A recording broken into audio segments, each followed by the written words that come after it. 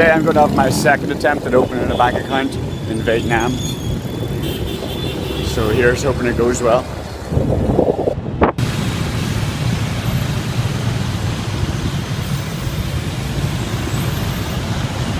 Be nice to me, HSBC, please.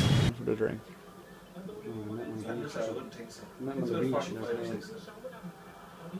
He was so keeper. He was so underestimated. It was unbelievable. Where's Bartet?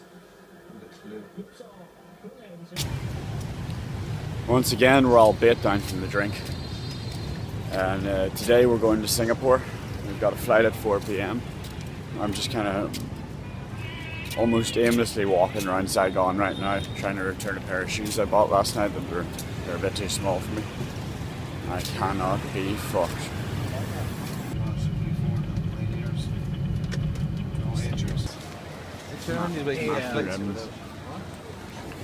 So today marks the end of our two and a half weeks in Vietnam.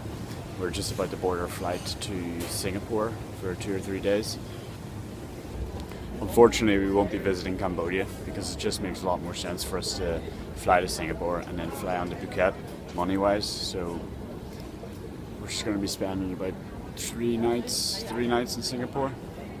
Looking forward to it though.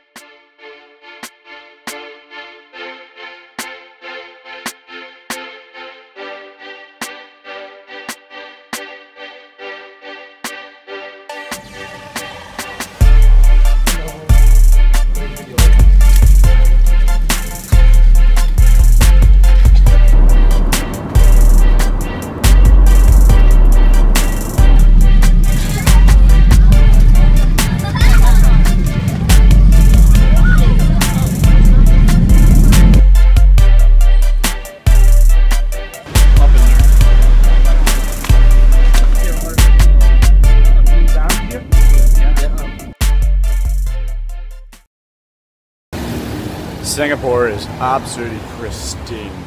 It's just so clean and so western and so expensive, but my god, it is pristine. Thailand and Vietnam were just loose and crazy, but Singapore is just such a multicultural city. It's just, it's unbelievable. It's so just, so just invested in we should have a big list of stuff to do tomorrow.